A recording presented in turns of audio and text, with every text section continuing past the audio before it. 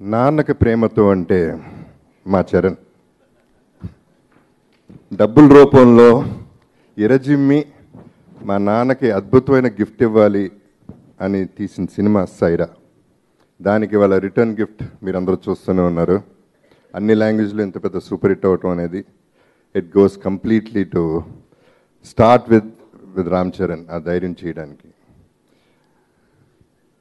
దీన్ని ఒక బర్డన్ ఎంత పెద్ద బర్డన్ తనకి తన అంటే ఏ రోజు కూడా తను చూపించలేదు. ఎప్పుడూ ఒక స్మైల్తోనే ఉన్నాడు ఎప్పుడూ కాన్ఫిడెంట్గానే ఉన్నాడు.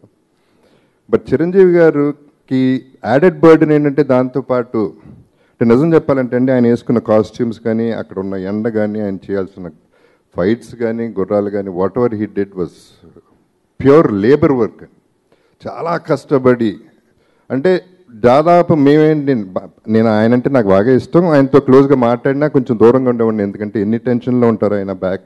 వెనకాల ఇన్ని వందల కోట్లు ఉన్నాయి అనే దీని మీద దూరంగా ఉన్న ఆయనే వచ్చి ప్రతి ఒక్కరిని ఎంకరేజ్ చేసి ఈ సినిమా బాగుండాలని కోరుకుని గొప్పగా తీసి గొప్పగా చేసి కూడా ఈ సినిమా ఇవాళ అద్భుతమైన పేరు all India wide pan India.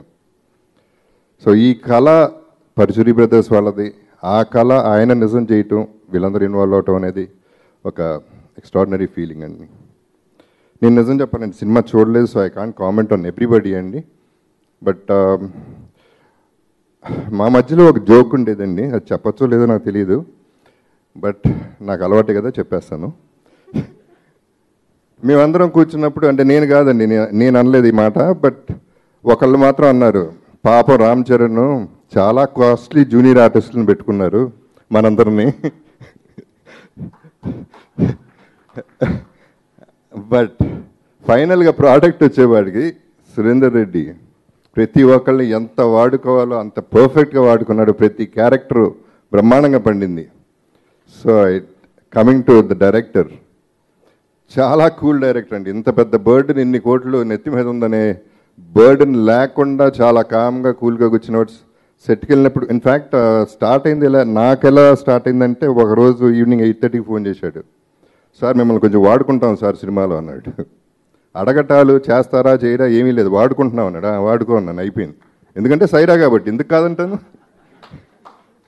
అలాగే వాడుకున్నాడు పర్ఫెక్ట్గా నేను నిజం చెప్పాలంటే నేను నా క్యారెక్టర్ ఇంత పండుతుందని నేను ఎక్స్పెక్ట్ చేయలేదండి.